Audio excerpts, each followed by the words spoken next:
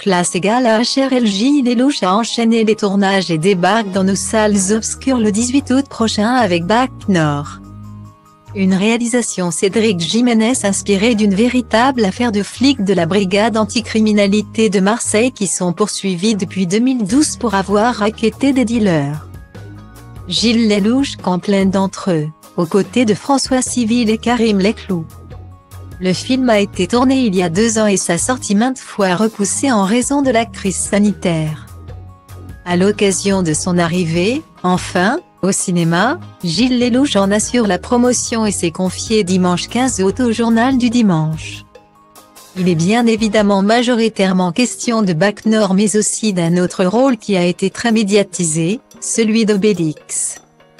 Gilles Lelouch se l'est vu proposer par l'un de ses meilleurs amis qui a repris les commandes des aventures d'Astérix, Guillaume Canet qui est entré dans la peau du mythique petit Gaulois à la célèbre moustache. Si Astérix a connu de multiples interprètes, Christian Clavier, Clovis Cornillac, Gérard Depardieu n'a jamais abandonné Obélix. Sauf pour Astérix et Obélix, l'Empire du Milieu. Il lui fallait alors un remplaçant et Guillaume Canet a trouvé en la personne de Gilles Lelouch. L'acteur de 49 ans a alors dû prendre le temps de la réflexion avant de dire oui. Quelque peu poussé par sa fille Eva, qui aura 12 ans au début du mois de septembre et qu'il a eu avec son ancienne compagne Mélanie Doutet. Oui, j'ai beaucoup hésité. C'est très inhibant de passer derrière Gérard Depardieu.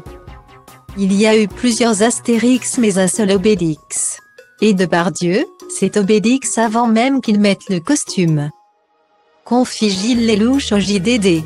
L'acteur avoue même avoir eu la trouille de s'attaquer à ce personnage que tout le monde connaît et qui n'est pas simple à jouer. Entre sa candeur permanente et sa colère.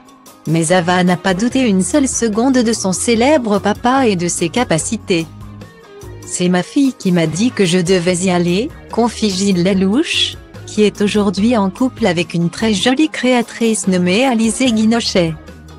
Une fois ce rôle d'Obélix accepté, Gilles Lelouch savait que le défi serait aussi de transformer radicalement sa silhouette.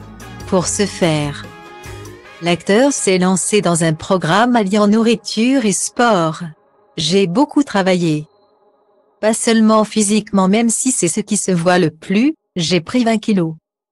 En mangeant quatre fois par jour et en faisant de la muscu, révèle-t-il. Mais c'est une autre mission peut-être bien plus délicate qui l'attend à présent. Reperdre ses kilos, maintenant, j'ai du pain sur la planche pour perdre du poids. L'intégralité de l'interview de Gilles Lelouch est à découvrir dans l'édition du 15 août 2021 du Journal du Dimanche.